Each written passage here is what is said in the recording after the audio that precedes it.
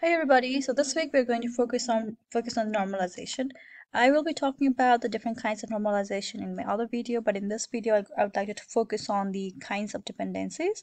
And we need to have an understanding of what each of these dependencies are before we uh, dive into this concept of normalization because normalization is entirely based on the concept of these three dependencies. So um, as we uh, as we recall, you know, uh, whenever we are creating a database, the first thing that we have to that we have to identify is to um, the entities. And when we are creating the entities or when we are identifying the entities for our database, they might be related to one another in one way or the other. They might be functional dependent, they might be partial dependent, dependent, or they might be transitively dependent on another entity. And that's exactly what we are going to focus on this video. So let's just talk about the functional dependency. So if you have a variable uh, that is dependent on another variable, then in that case, we say that variable x is dependent on variable y. So let's say you have this function f, f of x equals to y, then in that case, what we mean is that if you know the value of x, then you can um, then you know the value of y. So this means that in this case, f of x equals to y, x is the independent variable and y is a dependent variable. The reason why y is a dependent, dependent variable is because the value of y is dependent on the value of variable x. Likewise, if we have an entity A and entity B, and if entity A is totally dependent on um, entity B, then in that case we call it the functionally dependent but let's uh, narrow this down to just one entity where there have where there are multiple attributes. So if there are so if there are let's say uh, multiple attributes in an entity where the attributes is dependent on another attribute or let's say totally on another attribute then that we call the functionally dependent let me just see if I can get an example. Okay, so let me pull this example for you. So let's say that we have the student table where we have a student ID, the first name and the last name. So in this case, the student, student ID is the primary key or let's say the primary identifier of the student table. So if you know the student ID, you could also know the first name of the student and you could also know the last name of the student.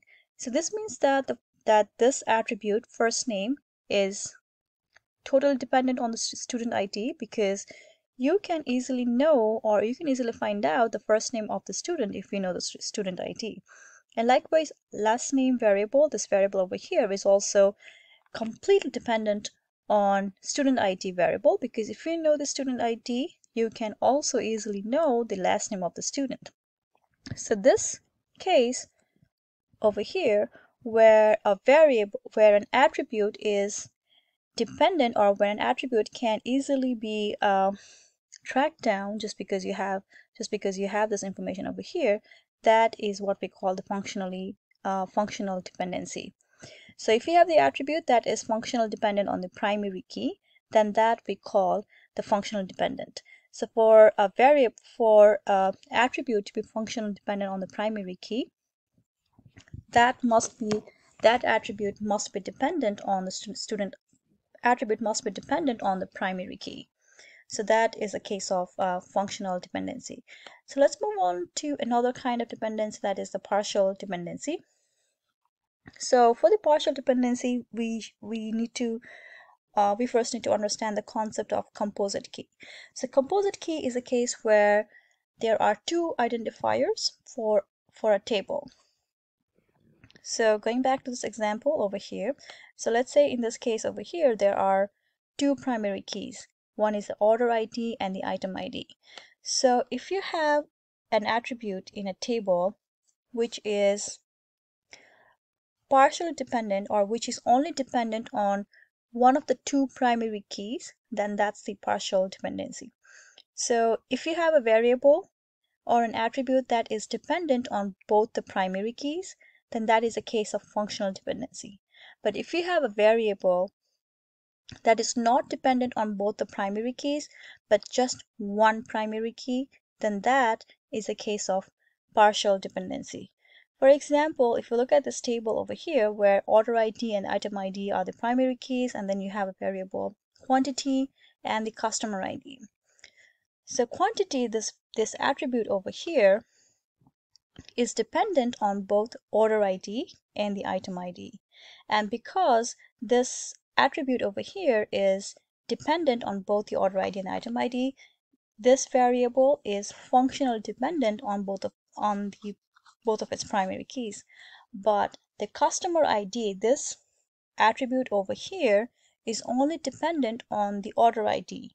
That is just one primary key when there are two primary keys or two primary identifiers for this table.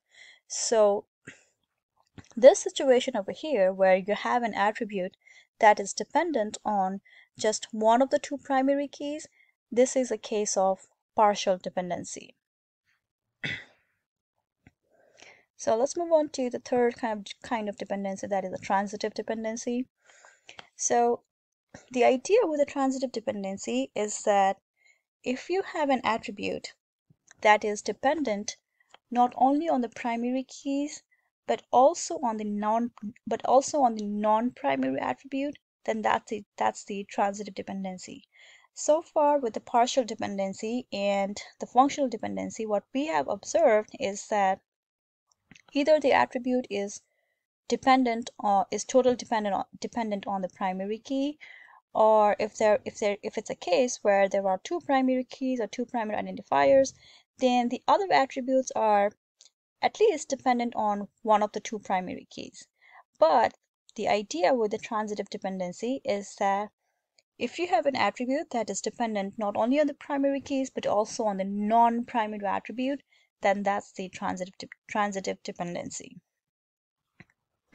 so let's take a look at the example over here.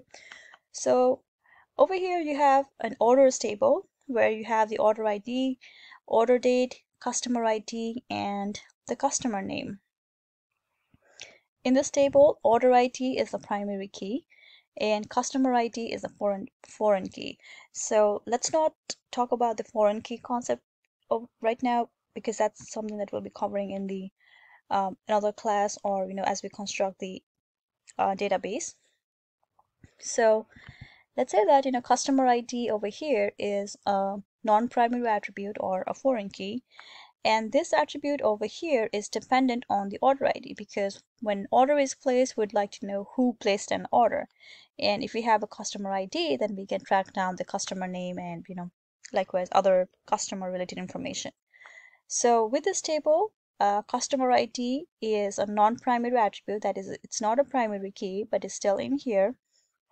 And there is an order ID, which, which is the primary identifier. And in the same table, we also have another attribute, customer name, which is um, primarily dependent on the customer ID. That is, if we know the customer ID, then we can perhaps know who the customer is.